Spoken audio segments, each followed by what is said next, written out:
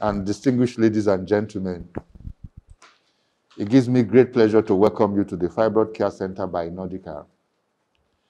This is an innovation in fibroid management in Nigeria. As you may be aware, Nordica is a brand associated with fertility management, with various specializations in the management of both male and female infertility.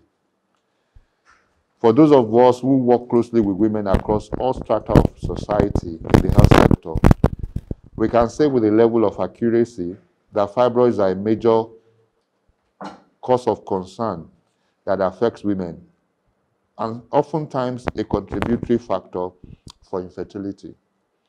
We know that an African woman has 70 to 80% lifetime risk of uterine fibroids by the time she's 50 years old.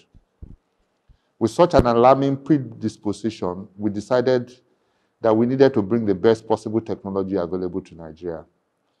For many women with uterine fibroids, the fear of open surgery has kept many of them to be living with the condition despite the uncomfortable symptoms and the negative impact on their quality of life. At Nordica, we have always embraced innovation in healthcare, and with particular emphasis on uterine fibroid management now.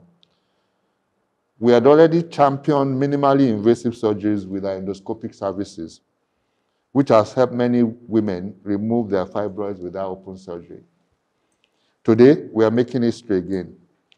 In partnership with Haifu Limited in Chongqing, China, makers of the high-intensity focus ultrasound technology, we are able to treat uterine fibroids in a non-invasive manner. This means that the patient can literally walk in and out after we have used HIFU to burn off their fibroids without opening the patient at all. Truly, Nigeria is being put on the global map of countries with this cap capability. On the African continent, this technology is only available in South Africa and Egypt making Nigeria and Nordica the third in Africa. However, with the introduction of HIFU, we are joining a large family of about 350 centers in 29 countries. And over 150,000 patients have benefited from the technology worldwide. In Nigeria, two people have also benefited from this in this center. And one of them is with us today. Um, the treatment with HIFU has been proven to be extremely effective in places where this has been utilized. Today, we will introduce you to the technology and showcase a patient who has benefited from this treatment since we installed the equipment only a few days ago. For me, today is another opportunity to showcase to the world that Nigeria is a destination for world-class fibroid care with the introduction of HIFU. Thank you as we look forward to a robust engagement during this media briefing. Well, fib um, HIFU is not only effective against fibroids, but also a condition we call adenomyosis. So one of the patients had fibroids, the second one has uh, adenomyosis. Okay, so they're just regular women. There is uh, what we try to do, like any procedure, is to find the right kind of people that will benefit from it. So it's not everybody who can benefit from it. So, and that is the only thing that we do to choose the people who we think can benefit from the uh, procedure. Well, I see it, you know, the advantages are numerous, and I see that um, a lot of women will embrace this because one of the things that we know is that many women are afraid of doing surgery for their fibroids. Now you have a, a, a technique or a procedure where it's almost you lie down on the bed with a it, it reminds me of uh, sorry like Naaman entering into the pool and coming out and you are healed. That's what it's almost like.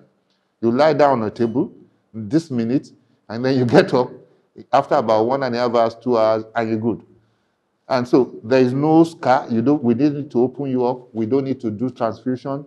You can resume your, your life almost immediately, okay, a few days after. And one of the patients would probably tell you about that, okay. And so, um, so I think the, the you don't need anesthesia, you know. So there are a lot of benefits that I think we just need people to know about, and then I see that a lot of people are very likely to embrace it. The way I see that is that one, HIFU will not solve the problem of misconception and uh, it must be awareness, education, we have to keep at that. What HIFU is just doing, one, is to, I know so many women, look, in my practice, I've seen women who, very educated women, who suddenly collapse. Okay, one will never leave my head. I did, I, I did a hysterectomy maybe about 30 years ago or so, 25. And the story was that she was in the market and then she collapsed. This is a very highly placed person. And she just collapsed. And they brought her to the hospital and then she now said, oh, she's been bleeding from fibroids for quite a while. You know, so it shows you the fear that people have about surgery. That you can actually get rid of your fibroids without going through surgery. I don't think anybody likes surgery as well, anyway. So if you have a choice, you probably will not choose surgery. And, uh, and that's what we're just trying to do. So we might not be able to solve the misconception, we might, but we can do it together, especially with the press. I keep saying how important the press is to health workers because they, we, you guys are the ones who can help us to tell exactly tell the story and tell the right story. So also is it's also your responsibility also to see that even the story that you guys are carrying are the right stories. There's so many things that are not, also not true. So it requires that we sieve the wheat from the chaff, and that's where you also come in. We even the IVF control that we've been talking about since, we know that control is. Sometimes I tell people, be careful what you pray for. We're a country that is 30 years behind, to be fair.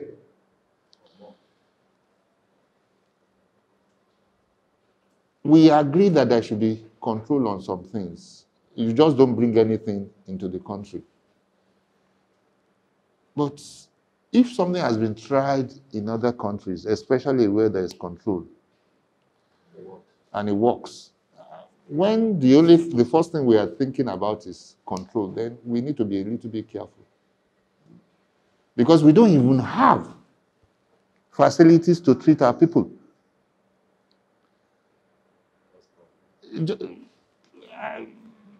There's some things that that I don't want to go into, but we don't really have things that to treat our people. And then we have things that can help them that have been proven to be safe, and all what we are talking about is control and control and control and control. Sometimes it might be counterproductive. Well, I don't think I have figures. I mean, we even the for the whole spend on medical tourism is always an estimate in Nigeria. We believe that about annually we, we spend about two billion. So we, we seriously we think we might be able to reverse some of this, but really and truly, the first thing is for our people to actually benefit from this. I know there are people who travel abroad too, but I don't know what proportion of the Nigerian people, but I think also there's a big proportion that go abroad for fibroid surgery as well, because I think generally people are scared. I mean, as a young doctor, I remember, I mean, this is one of the things that made me to, I've been following this technology for over 10 years, because when it first started, I watched it evolve before I met you about uh, three years ago. Yeah. yeah, I'd been following the technology from it evolving over time. And uh, so we, because I see that a, a great number of women are living with fibroids and they're too scared to do anything about it. And sometimes I don't blame them.